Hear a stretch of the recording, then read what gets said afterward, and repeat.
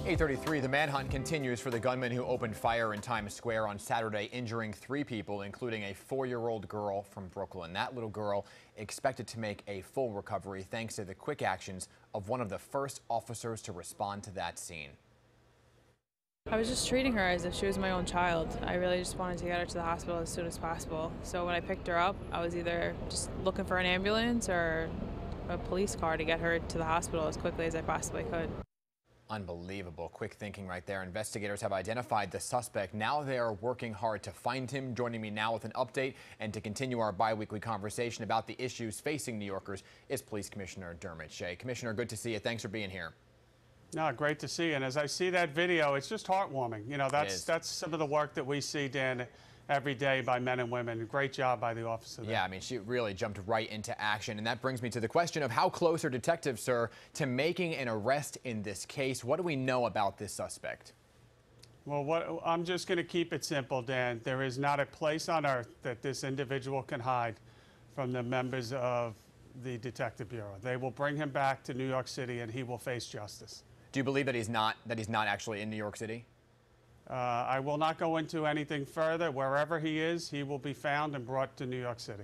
Understood. You know, but that shooting really, it happened in broad daylight, Commissioner, in Times Square, where there's already a large police presence. You and I, yeah. we keep talking about the ongoing gun violence problem. Shooting incidents way up, comparing week to week with last year. They're up 140%. We have some of these numbers for you. It's a 202% increase when we compare the past 28 days to the same time last period last year. You're very familiar with these numbers. There's been a lot of blame placed on bail reform, but what is being done about the guns and what else can be done? Yeah, well, I mean, I think we know a lot of the obstacles, Dan, and, and the key is really what are you going to do about it? So, you know, we, we, we still have quite a bit of resources here in the NYPD. We have a, a, a class that just came out of the academy, uh, which is a, a, real shot in the arm last week. Yeah. They hit the precincts this week. They haven't hit the street yet, but that's imminent.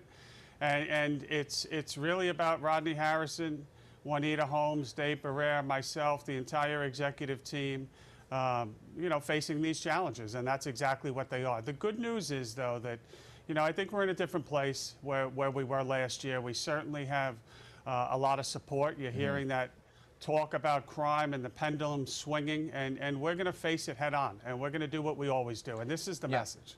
The men and women of this police department are never going to back down from a challenge, and they're never going to be in a position where they're not there for New Yorkers. So we'll do whatever we have to do. Certainly challenging times, we're going to need help.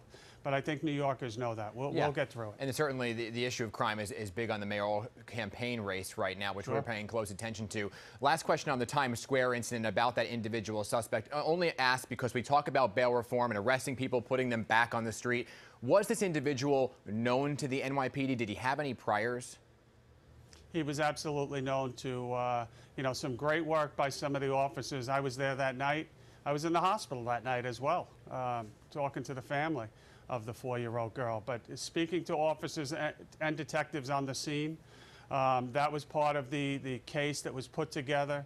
They had an idea of some of the normal players, if you will, in mm -hmm. that area, and that all led to the quick identification. Understood. You know, and, and the violence are not only above ground, but also underground on the subways at a time when ridership, we're just beginning to see it pick up since the pandemic, which is a good sign, right?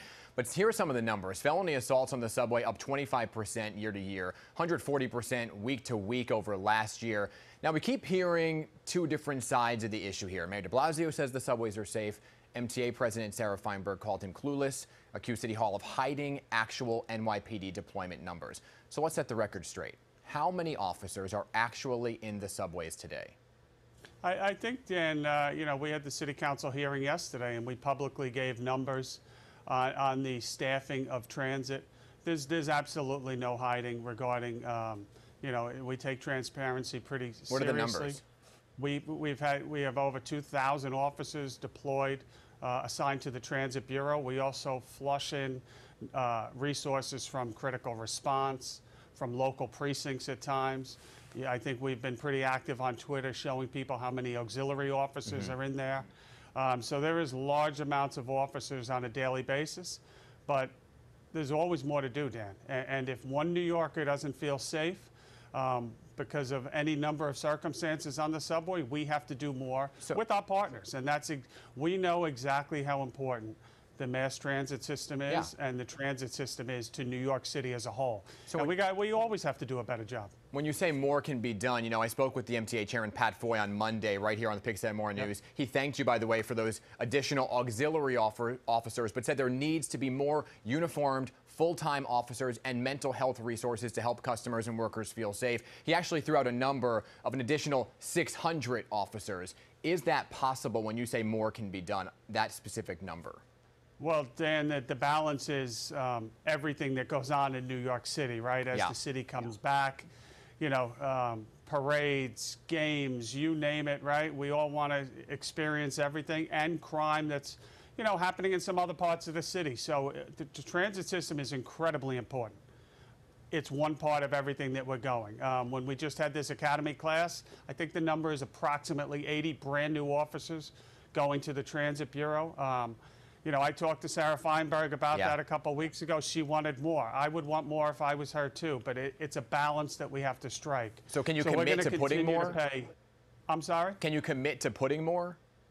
I, I cannot commit to more out of that academy class. Understood. It's just not possible. There's just too many competing interests right You know, now. you're talking about the academy class. It brings me right to you know what we spoke about, which is recruitment. Police exam deadline last week. Very active recruitment effort. I know you extended it. Are you seeing good numbers? How many people actually came forward in terms of recruitment? We're not seeing good numbers. We're seeing great numbers, and I am thrilled to say that.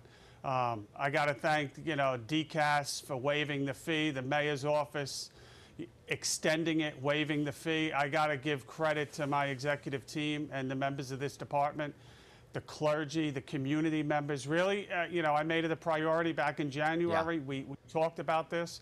We're going to do press, I think, next week, Dan, and tell you exactly how many. But when Give me we a heads set, up. Give me a heads up. uh, we crushed the numbers for recruitment Okay. that we were looking to do. And we specifically crushed, um, when you look at African American, uh, particularly, w- an area that we had, um, you know, had trouble recruiting in the past, frankly. We are very happy at the preliminary numbers. Always can do more, but we're going to have some really good news. and we're going to share that news with everyone next week. Good. Two more things I want to get to real quick. One of them being the three NYPD officers arrested yesterday on federal corruption charges for taking kickbacks from tow companies that impounded vehicles. Should those Yeah. officers be fired?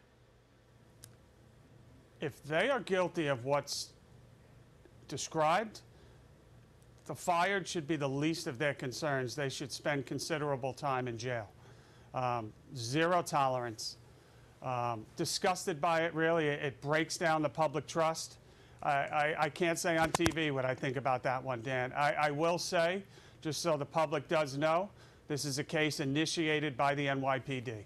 It's initiated by our Internal Affairs Bureau, working hand in hand with prosecutors along the way. Um, and we are 100% dedicated to rooting out anyone that is involved in any form of corruption. Um, I, I'm glad that, you know, I've been briefed on this for well over a year. Um, I knew about it, uh, knew it was coming down still disgusted by it. We should have um, zero tolerance, and I know that the men and women of this department feel the same way. Understood. Commissioner Dermot Shea, we are simply out of time this morning. Glad to hear about the recruitment numbers. Looking forward to hearing from you next week about that. Thank you again for being here, as always, for these conversations. They're always Thanks, really Dan. important. Appreciate it.